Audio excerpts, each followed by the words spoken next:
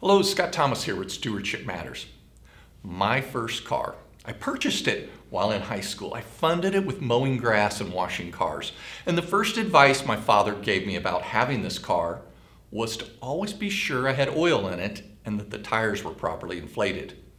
When it comes to cash management, many nonprofits and for-profits are running low on oil or their tires aren't properly inflated on their cash management vehicles. Three decades ago, when I started helping individuals and businesses with financial matters, I found that cash management was really done well. And it paid off well because rates on cash were approaching or exceeding double digits. In the past decade, rates have dropped significantly. And so cash management and not paying attention can still be costly, but it's in multiple ways, not just the rate on the money. Have you ever noticed that when the federal funds rates go up, there's a delay in passing that on to the rates for cash management accounts. And when rates go down, immediately that reduction's realized. It kind of reminds me about um, gas prices. You know, a barrel of gas, uh, when it goes up, it gets passed on to the pump, and when it goes down, that's what happens. Have you noticed that banks and financial institutions are holding back on sometimes on their best rates unless you're willing to give up something like information control or buy something from them?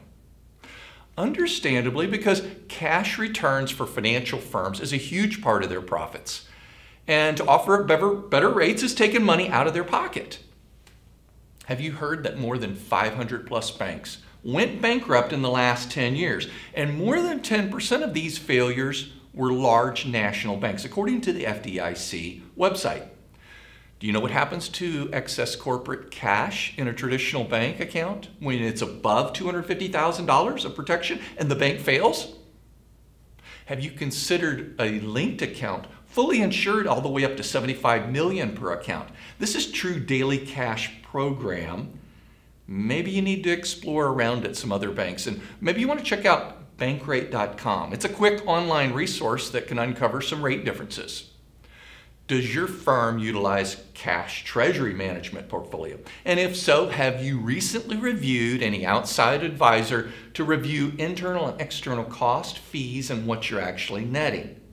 A reminder that U.S. Treasuries are not daily cash and not FDIC. However, they are backed by the full faith of the U.S. government with these treasuries. So um, they also fluctuate in value up and down, as opposed to an FDIC insured daily cash, which does not fluctuate in value.